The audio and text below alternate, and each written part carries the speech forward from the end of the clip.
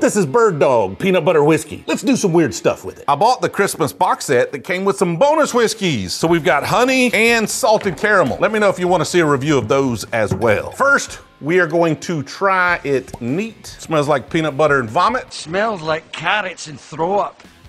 And luckily, it tastes a lot more like peanut butter than vomit. I like this better than the Skrewball. I feel like it has a little more peanut butter flavor to it. Still super sweet, not quite as sugary. But let's do some fun stuff with it. We're gonna make a peanut butter old fashioned. Half ounce of Demerara, two dashes of chocolate bitters, two ounces of bird dog. We're gonna garnish with a cherry, get a little of that cherry juice in there and stir up.